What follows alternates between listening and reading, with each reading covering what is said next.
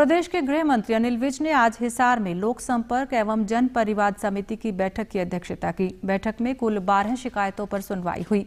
उन्होंने बैठक में हांसी के नायब तहसीलदार और हिसार के सहकारी समितियों के सहायक रजिस्ट्रार को निलंबित करने के आदेश दिए।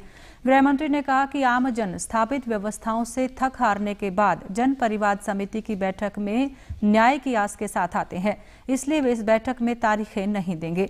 उन्होंने कहा कि अधिकारी जनता के साथ अपने व्यवहार में सुधार लाएँ। जो जो कार्रवाई बनती थी सब पे की है कुछ लोग सस्पेंड भी करे हैं उसके खिलाफ एफ़ दर्ज कराने के भी आदेश दिए इस अवसर पर गृह मंत्री ने कहा कि विपक्षी पार्टी भारत जोड़ो यात्रा के नाम पर लोगों को गुमराह कर रही है। वो पूरी तरह से पिट गए और इनका भारत जोड़ो से कोई ताल्लुक नहीं है। इनका तो खून में भारत तोड़ो है। खून में इनके में। हिंदुस्तान आज़ाद हुआ, हिंदुस्तान के दो टुकड़े करवा दिए। चौरासी में इन्होंने सिखों का कत्लेआम करवा दिया। इनके तो खून में है कि किस तरह से भारत को तोड़ना है। जिस दिन इन्होंने अपनी यात्रा शुरू करी थी, उसके चार पाँच दिन बाद ही राहुल गांधी जी ने ट्वीट किया था कि बस 145 दिन और